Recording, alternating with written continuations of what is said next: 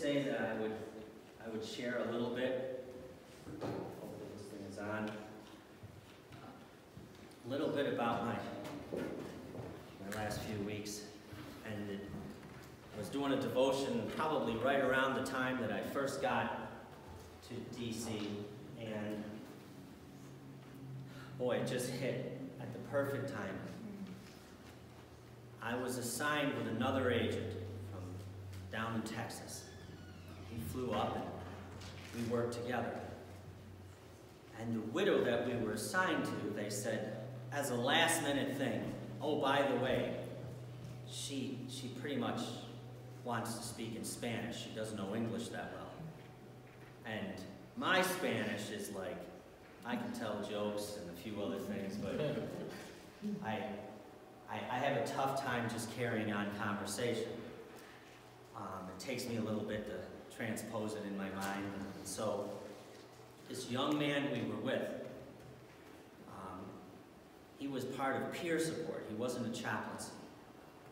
And so as I was talking to him, we were spending some time in the vehicle, and I said, boy, the Lord really put you here for a, a good reason, because I would not have been able to connect with this widow the way you have, because she speaks Spanish. Turns out she did, she did speak English, and I was able to kind of mangle through most of that, but um, this having this young man with us and his ability to communicate with her during times that she was really in a lot of emotional stress based on what had happened was just amazing. And so sitting in the vehicle, we got a chance to talk to this young man. It was actually kind of funny. He said, oh, I, I, my doctor said I need to eat more pure sugar. And I had brought a jug of maple syrup. I was going to give it to my boss. But it was rolling around in the back of the truck. And in my mind, I kept thinking, this thing's going to break. And it's going to be the biggest mess in this brand new $70,000 SUV. Could you imagine a big jug of maple syrup letting loose? And so I'm thinking about this as he says, yeah, I need, my, my, my doctor says I should probably have, instead of sugars, I should eat maple syrup. I heard it's really good. And I said, oh, hold on. I put the truck I came back and I handed him the jug of maple syrup and he just stared at it. Really and he said, does everybody from Vermont carry this around? so that was pretty funny. But then, um, so as, as we were driving, he, I said, well, tell me about your faith. Do you have, do you have a faith? Because I said, how did you learn Spanish? And he said, I was a missionary. Wow. And um, he, was, he had gone for, as a missionary for the Mormon church. Mm. But he was really struggling with some of the legalisms, which we all do in churches. Mm-hmm. And we, it's a constant thing. We have to be watching because it sneaks in. Mm-hmm. And then we make it part of being a Christian before we realize, whoops, this, this is not something that really lines up with that. But he said, I don't know, kind of just struggling a little bit right now because I've been reading the Bible and I don't find any of the legalism stuff there that, that we practiced in our faith. I just keep finding about grace and the cross. And I said, hallelujah, that is the, that is the ultimate thing to pull out of the Word of God. If you're going to read it, that's it. And so I, he's like, well, you know, life really made some, some changes, some turns I, I wasn't expecting, but I'm here. I'm, a, I'm, I'm a federal agent, which, you know, sometimes we all kind of wonder, how did we end up in this thing, you know? And, mm-hmm. and I said, well, you know what? You're seeking the Lord and He has you right where He wants you. You're standing in your destiny right now mm-hmm. because the way you reached out to this widow, that past, every step that you took, learning the Spanish language, going on a missionary trip, it's all coming to fruition right now because God has you in this moment mm-hmm. and in this place, and you're standing in your destiny. And he just, it's like I, I just always thought maybe, I just happened to be here. But, you know, I said, I really appreciate that. So that night I was, I went home and I was doing my devotion and I called him up really excited and I said, I want to tell you about a king named Josiah. And he was in the Old Testament. And he, he actually was like, where is this in the Bible? I want to read about him right away. Because I said, it's just a picture of you. You're seeking righteousness. You're kind of putting aside the legalisms and saying, I'm not thinking about a denomination. I'm not thinking about a certain set of walls. I want a direct connection to Jesus Christ. And I want to read about His grace and His mercy. And that's where I want to start. And it was, it was, then I did this devotion and I thought, Lord, you just, wow. So, we're going to get into Josiah. Now, I'm going to break this up into two weeks because there's no possible way, again, trying to get you out of here by four this afternoon. So we're just going to get into a little bit of his story. But the, if you want to write this down and, and read it, he's actually mentioned in two different portions of Scripture, Second Chronicles and Second Kings. And so he was a king in the, in the history of Israelites and the Jews, and there's, there's so much there that I'm going to try to just hit some of the high parts, but this is his story. I'm going to get into his story, but just to give you a little bit of some of the verses that I really thought went along with his story. We go to Ephesians 2.10. For we are God's handiwork, created in Christ Jesus to do good works, which God prepared in, can we all say that word? Advance for us to do. For we are God's handiwork, created in Christ Jesus to do good works which God prepared in advance. And sometimes we let our time direct how we think of God. That, he's not like that. He had your fingerprint on his mind from the beginning of eternity. 2 Timothy 3.16 and 17. What else do we have? I've mentioned this a lot. All scripture is God-breathed and is useful for teaching, rebuking, correcting, and training in righteousness, so that the servant of God, that is you, may be thoroughly equipped for every good work. So that means the Word of God equips you to go do what He wants you to do. And we're going to see this. So we're going to look at the landscape of uh, the story of Josiah. So, he's one of the last kings in Judea, and basically he, the Babylonians were coming, and they were going to plunder Judea, and he was, he had a rough grandfather, very rough father, and he made some decisions and said, I'm going to follow the Lord. I'm going to seek righteousness.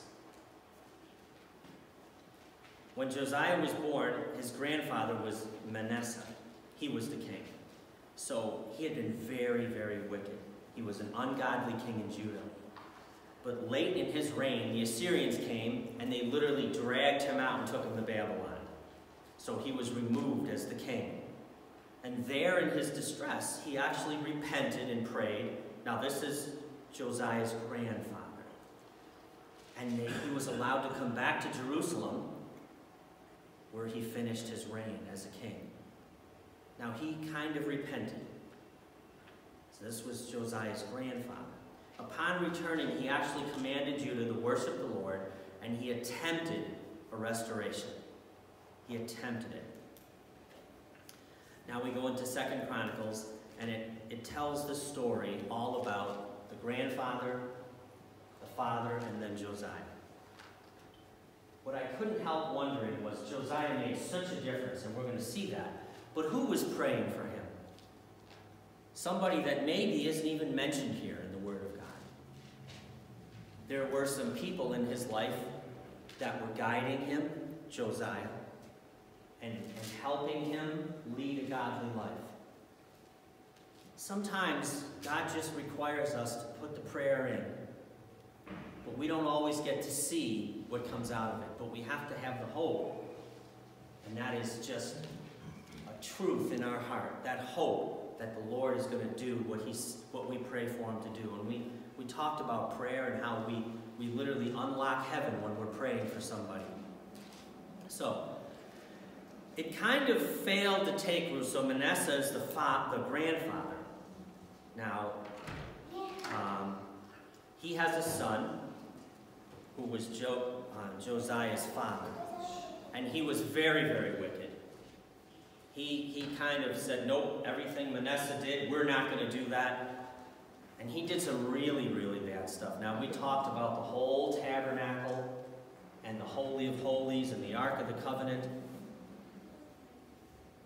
during the reign of the grandfather and especially the father, they actually brought false idols into the tent. False gods. Now, we talked about how important that, that tent was.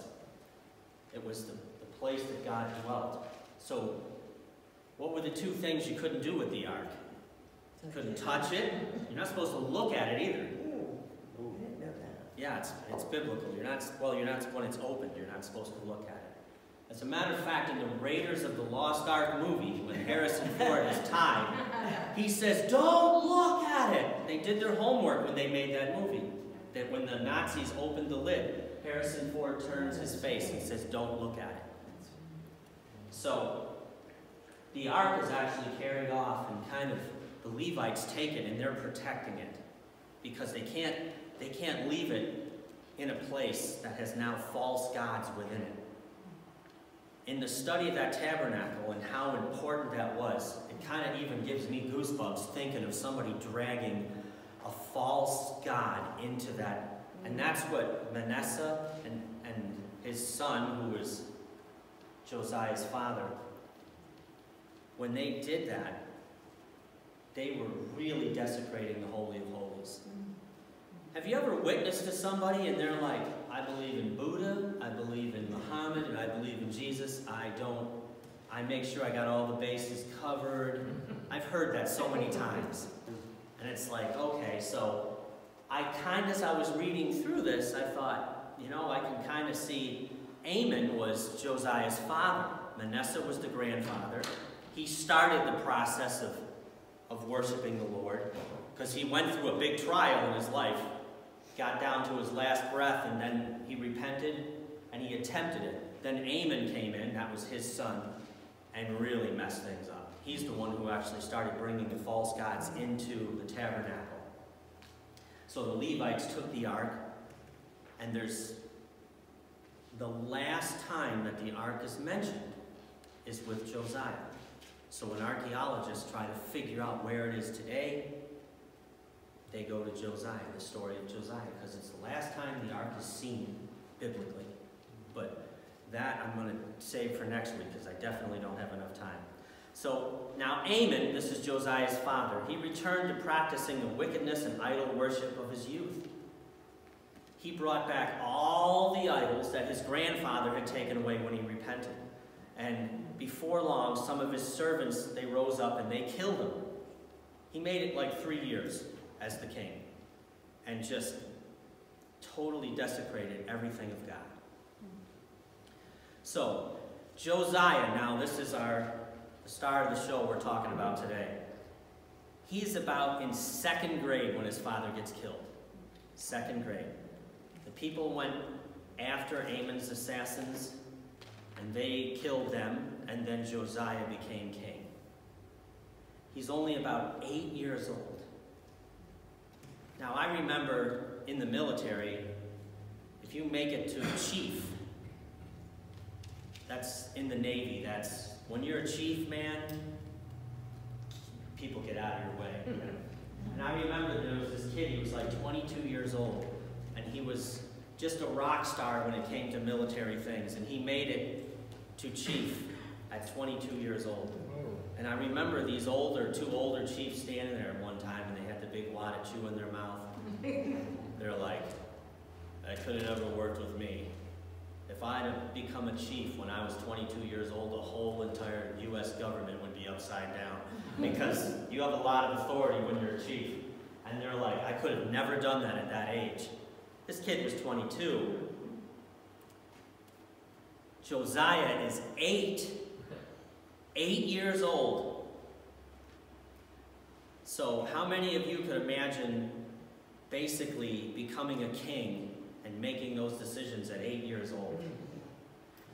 But it's amazing because there's something in his heart that he wants. Now remember, his father desecrated the temple, what they knew of the temple. And even the holy scrolls were gone. There was, he didn't have a Bible that he could go to and say, oh, hey, it says in Genesis, Exodus, Deuteronomy. He didn't have that. It was gone. They thought destroyed. And so he just had this urging in his heart. We call that general revelation. When God just pulls at you and you know there's something I need to pursue the Lord. And all these other idols, something's not right there. And I believe it's because someone was praying for him, praying for him hard. Maybe the people were meeting in their little home churches and they were praying, please, Lord, bring us a king there was probably a small remnant. So whoever influenced Josiah, he was a godly, faithful king. In 2 Kings 23, 25 says, Now before him there was no king like him, who turned to the Lord with all his heart, with all his soul, and with all his might, according to the law of Moses, nor after him did any arise like him. Wow. Isn't that something to have that said of you in the Word of God? and the, the whole world was against him. The whole world. Can you imagine walking in to wherever you're given the authority, whether whatever jobs you have, whatever family situation, and everybody is against you. But God says, I have you there for a reason. There's going to be some tough times coming because they're not going to like what you're going to bring to them. So, it's quite a description to have that written about him. He was a rare find among the kings, and he found himself in a period of unparalleled idolatry. His reign, again, is recorded in 2 Kings and 2 Chronicles. So, we take a look at his life. We're going to turn to 2 Chronicles 34 1, and I'm just going to go through a couple of verses. He was eight years old when he became king, and he reigned in Jerusalem 31 years. And his death basically came at the beginning of the Babylonians when they just came in and, and took everything. But because of his reign and because of his heart for God, God allowed Israel to be safe during his reign. But that's a whole nother sermon again. So, eight years old. I still can't, I have a tough time even getting over that. Now we're going to look at verse 3, 2 Chronicles 34, 3. And in the eighth year of his reign, so he was eight years old when he took over. In the eighth year of his reign, he is now 16 years old. And now, when he was eight, he had this prompting in his heart, this thing that was just naturally happening. Now he turns 16. In the eighth year of his reign, while he was still young, he began to seek the God of his father David. I hate to keep saying this, but that's another sermon because his father was Amon, his grandfather was Manasseh. So there's a sermon in why he sought his father David. But that's, again, got it. Not, we don't have all day here. So the word here is interesting. We'll get into that. He was 16 years old here, and it makes a point of him saying that he started to seek God even deeper. Deeper. What are most 16-year-old boys interested in? Girls. Girls! yeah. Cars, sports, music, entertainment, fun. I was the car guy. I was going to work with this guy one morning when I was 16, and we pulled up, and there was a Trans Am. And it had the big Cragar rims on it back then. And, and I remember just looking at it. And, and the guy, and I was sitting with a kid next to me and he says, wow, check that out. And I said, man, that is really something. And he's like, yeah. The car drove away and I said, even the rims, those are nice rims. And he's like, what rims? I said, Dad, you didn't see the rims? It was the best part of the car. He says, I was looking at the blonde in the front seat. I said, I didn't even see a woman in the car. I didn't even see who was driving it. So, so we all had our things that we were very, very interested in when we were 16 years old. His father certainly didn't pursue God. So didn't this mean that Josiah, maybe he shouldn't have pursued God either? So, you know, I hear that a lot. My family's messed up, so I guess I'm always going to be messed up too. You couldn't come from a more dysfunctional family than what Josiah came. Uh, the Bible is filled with dysfunction. But he had this urging in him and he followed it. Remember, with no scripture. No scripture whatsoever. So, but he overcame his past. And what a past to overcome. Two people in your lineage that were the vilest of vile when it come to desecrating the Lord. A father who was eventually assassinated. He didn't have very good role models to follow. Our past sometimes does overshadow us. And I believe right now there's maybe some of us that may even be struggling saying, this past has just I'm not where God wants me, and I'm so far off, I might as well give up. But I've used the illustration of, and I did this, this was a great illustration in Washington, D.C. One night I was trying to take the widow home, and I kept missing the exit. And I went around and around and around to a point where, and then we would start talking, and I would sail right past it again. And it was this big, long journey. And then one of the journeys, somebody was in an accident, like a 15 minute trip took me an hour and a half because I kept missing the exit. And we, we had a, if anybody's ever seen the vacation movies where the guy gets stuck in the traffic circle and he keeps saying, look kids, Big Ben. Hey, there's Big Ben. I, our joke of the whole entire trip there was, look, there's the Pentagon. hey guys, there's the Pentagon. And we just kept passing the Pentagon. I'm like, I can't get back on the road. But when we make those wrong turns, the, the Lord is just like one of those navigators. We may make a few wrong turns, but He's still going to get us to what our destiny is when we're seeking Him. Amen. When we're paying attention at all to that little road thing that they GPS, it's going to route us back and it's going to put us back where we need to be. And it was neat because I got to share this with this young man that was with me. I said, God has you right where He wants you. You're in your destiny right now. So realize that. Sometimes when we think, oh, I'm so messed up so bad, I'll just help out a little here, but this isn't my destiny. I should have been somewhere else. I should have been doing this. I should have been doing that. But you know what? Just seek God's righteousness, and we're going to see that. So our past overshadows us sometimes. We're hurting. Some of the things from our past, some of the things that were done to us, some of the things that weren't done to us as we were raised.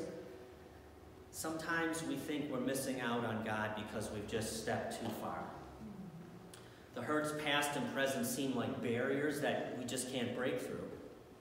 But Josiah did it. He's the ultimate picture of just seek God and all the dysfunction, just set it there behind you and say, Lord, I just want to seek you. I want to seek your righteousness. Sometimes the wounds don't properly heal up until we really start to seek the Lord. And sometimes, even in our midst of seeking the Lord, we go back to the past and we dwell on that too much. Maybe we start to think that God desires all to be saved except me. Has anybody ever struggled with that moment in their life when they think, well, I, I may not have quite made it where God wants me to be, and, but in 1 Timothy 2, 1 through 4, it says, I urge then, first of all, that petitions, prayers, intercessions, and thanksgiving be made for all people, for kings and all those in authority, that we may live peaceful and quiet lives in all godliness and holiness. This is good and pleases God our Savior, who wants, what's that word? All people. All people to be saved and to come to the knowledge of the truth. No doubt there. Every word in the Bible is important. Back to Josiah. So at 16, he begins to seek God.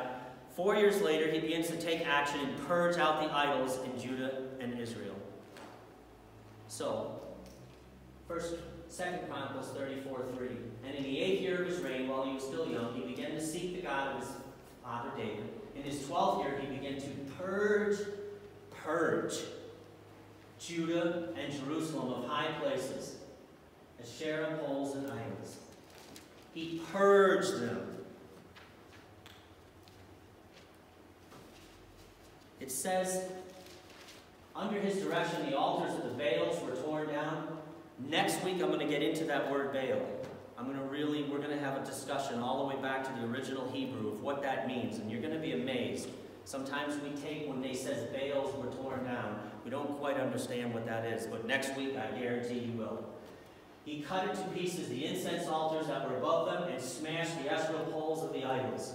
These he broke to pieces and scattered over the graves of those who had sacrificed to them. He burned the bones of the priests on the altars so that he purged Judah and Jerusalem. That is in the towns of Manasseh, Ephraim, and Simeon, as far as Naphtali, and in the ruins around them. He tore down the altars and the Asherah poles and crushed the idols to powder yes. and cut to pieces all the incense altars throughout Israel. Then he went back to Jerusalem. In the 18th year of Josiah's reign, to purify the land and the temple, he sent Shaphan, son of Azaliah, and Maaseiah, the ruler of the city, with Joah, son of Joahaz, the recorder, to repair the temple of the Lord his God. A lot of really long names there. And I, as I was reading through this, you think that was the popular thing for him to do? I'm sure a lot of people loved him, but I bet a lot of people hated him for what he was doing. Because there's probably some people that are like, I grew up worshiping that false idol. I grew up doing this and that. And now he is, he's, he's, he's not just, he didn't go in and say, um, we should really be concentrating on God. Let's take this idol and set it over here. Sometimes we do that. We put it in the closet, the thing that the Lord wants us to get rid of it. We sweep it under the carpet. And I always think of the guy who sold his house and a, a bidder came in and really gave him a low price. And he thought, well, okay, he says, I'll, I'll take, I'll, I'll sell the house to you, but I want to keep this nail. There's a nail on a post over here, and I want to keep that nail, can I? And the guy said, was like, yeah, sure, I'm buying this house, I'm getting it really cheap. You can keep the nail. So he moves into the house. The new person does. And the person who sold the house, the man knocks on the door late one night. And the new owner opens the door and he says, what's up? And he says, oh, I came to hang my hat on the nail. and then the next morning at 6 a.m., he wakes the man up and he says, came to get my hat off my nail. And this goes on and on and on for six or eight months.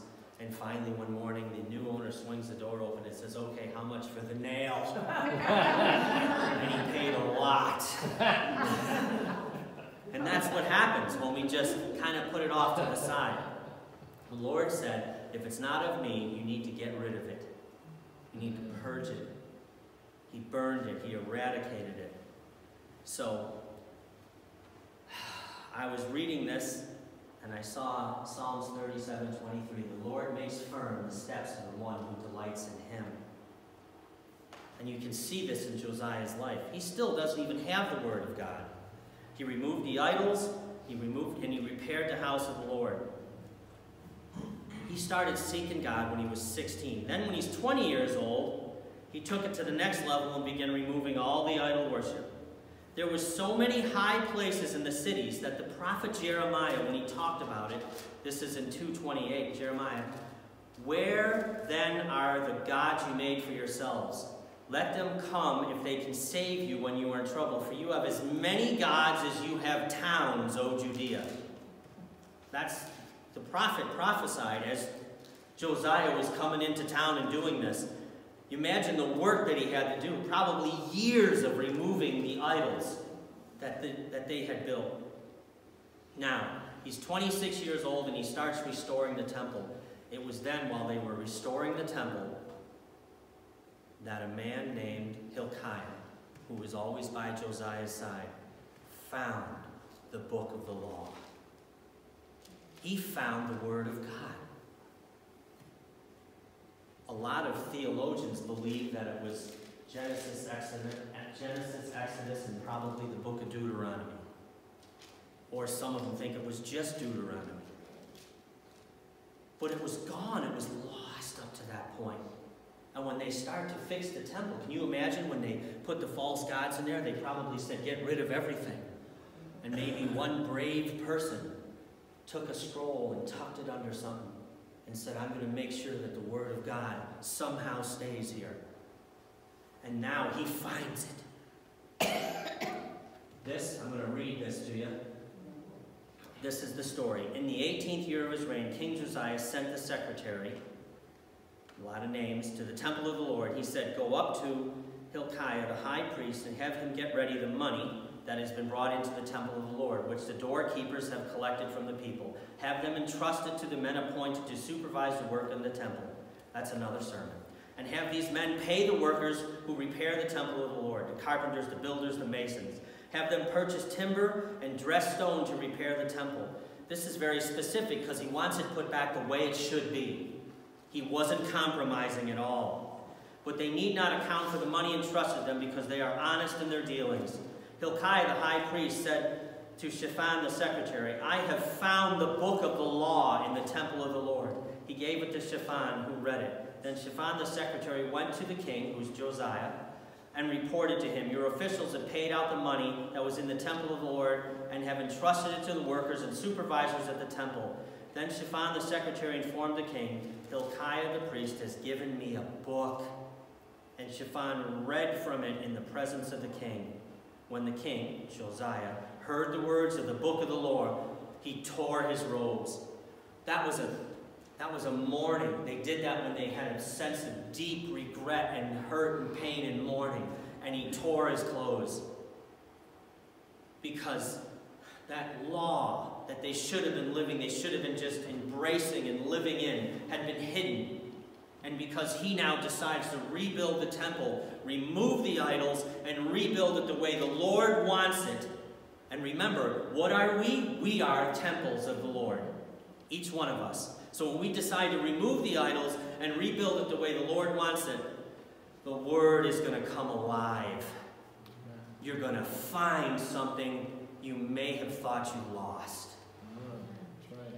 God's law reveals God's will as well as God's wrath against sin. The law of God shows the path of righteousness and pronounces God's blessing on the righteousness. It also reveals the way of wickedness and pronounces God's curse upon sin. Now Josiah gets this word and he's, he's now reading it for the first time.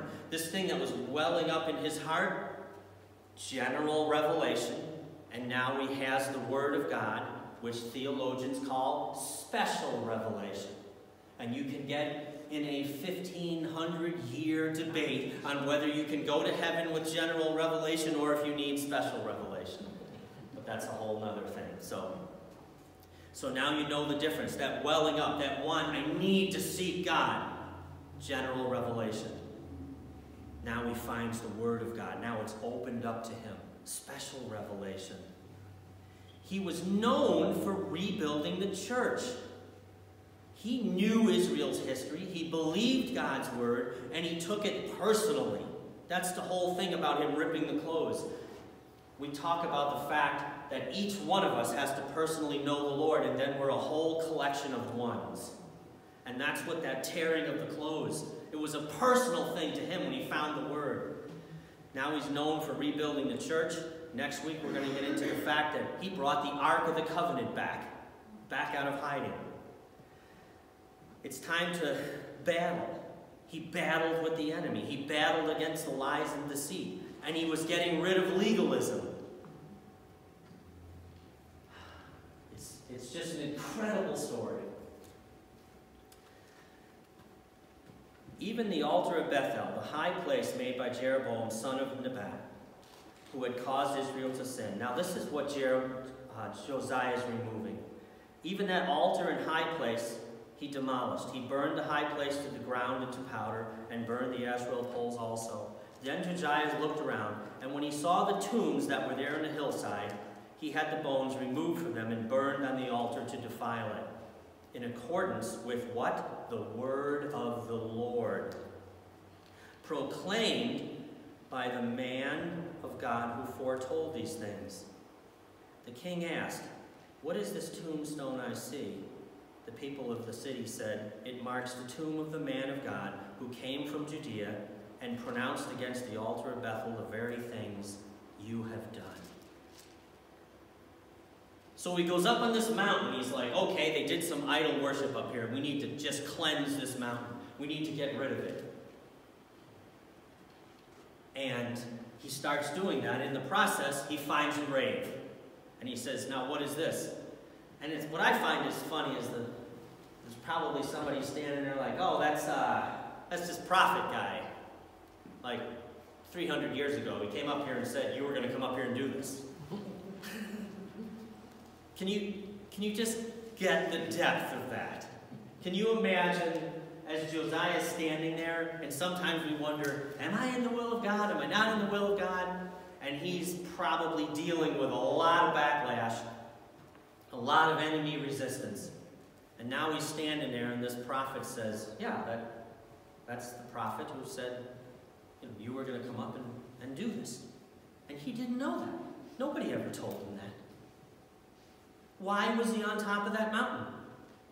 Because the Word of God said you need to remove all the idols. He now had the Word. Now it's special revelation. And now he opens up the Word and becomes alive. And now he's like, I'm going to pursue every idol that's on a mountaintop, anywhere I can find one, and it's going to get destroyed. I'm going to pursue God's righteousness. He pursues God's righteousness, gets to the top of the mountain, finds the grave, and the prophet says, or the, the person that's with him says, yeah, there's a prophet buried there, and he's the guy that said you were going to do all this, prophesied three centuries ago. And this is what I told that young man that was riding with me. I said, just like Josiah, no matter where you are in life, if you seek God's righteousness for your temple, you will find yourself right in your destiny.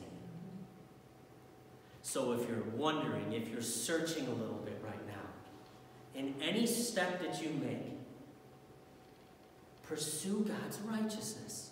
Let the word speak to you, and God's going to give you part of your next step. Remember the word for step? Upward journey? Aliyah.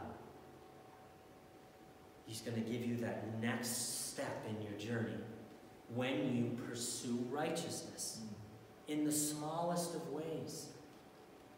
It's just incredible. Mm. He had no idea this prophecy. The prophecy is in 1 Kings 13, 2 through 3. 1 Kings 13, 2 through 3, if you want to read about it. It doesn't even mention the name of the prophet. It just says a prophet came. It actually says, yep, this guy's going to go up. He's going to going to go to the top of the mountain. He's going to do these things. And then the prophet dies and they bury him on top of the mountain. Josiah has no idea about this story. None.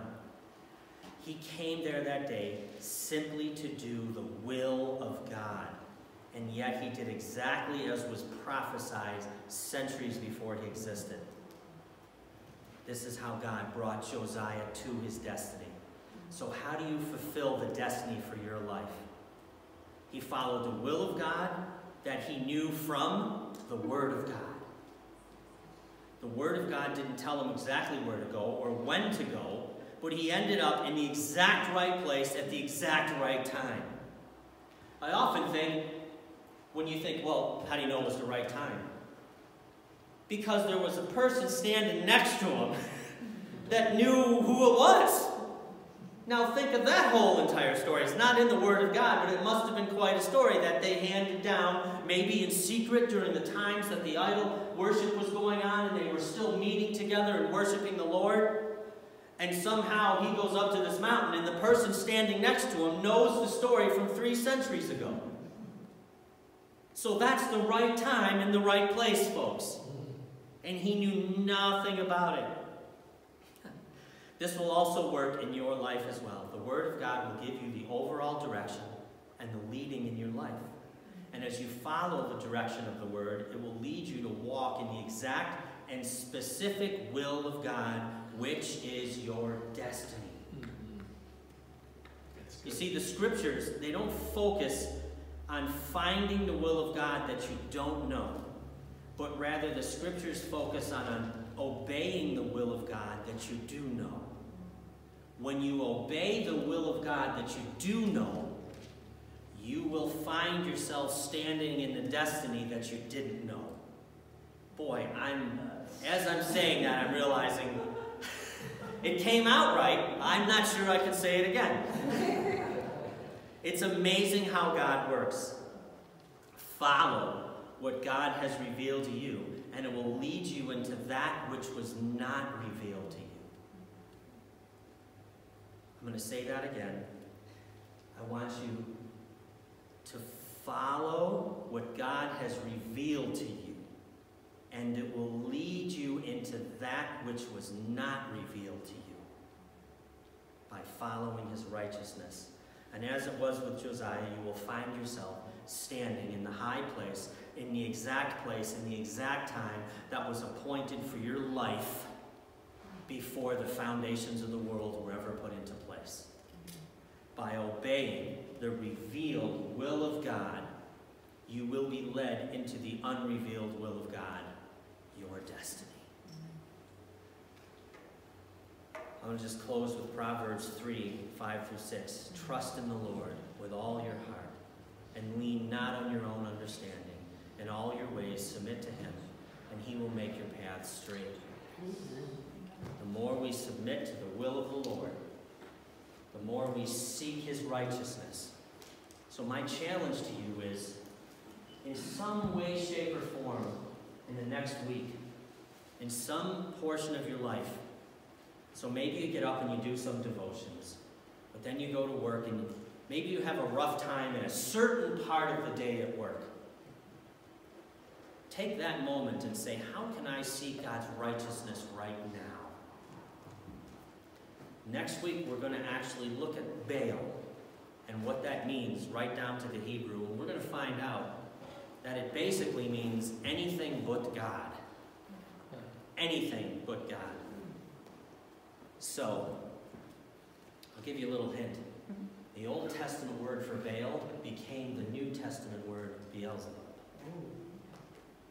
So, concentrate and say, Lord, what part of today can I seek your righteousness out more? And in the frustrating moment that you're having in life right then and there, God's going to reveal your destiny. Amen. That's good. Amen. Thank you, Lord. Let's just sing a song and close. And, um, I gotta tell you, sometimes God really it works on my heart just as much as anything else. And I wandered around my house last night in tears and shouting at some point, praising the Lord, back in tears. But that's the way the Lord works. If you trust Him with the Word, and if you say, Lord, you reveal something to me, He is going to change your life. When you get in that moment in time when you're a little frustrated, say, what can I do right now to seek your righteousness, Lord? And you're going to see that that frustration is going to turn, and you'll find you're right where you need to be. Sing the cross as the final word. The cross has the final word. The cross has the final word. Sorrow may come in the darkest night. in The cross